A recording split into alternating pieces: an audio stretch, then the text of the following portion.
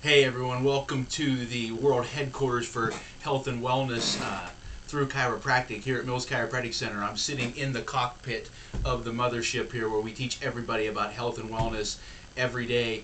And I just want to tell you about some exciting things going on. I mean, 2012 is here, right? And um, what a great time to focus on our health and get our health on track.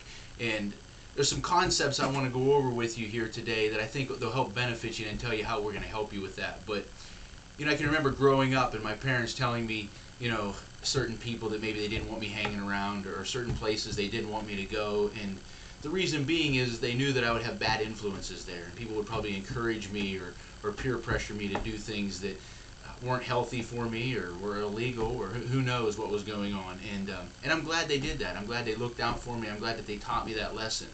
But all too often, I think that mindset can be that's for kids. Well, I'm an adult now. I'm not a kid. But the reality is, if you want to be healthy, you have to hang around people. You got to be around people that are encourage you, encouraging you and leading you toward health.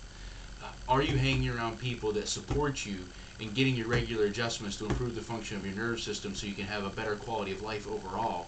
Or are those people trying to bring you down? Uh, are you hanging around people that are encouraging you to take positive health steps on a regular basis so you can live the quality of life you want? Nobody wants to be tired, worn down, lack of energy, have chronic diseases, be taking pills every day.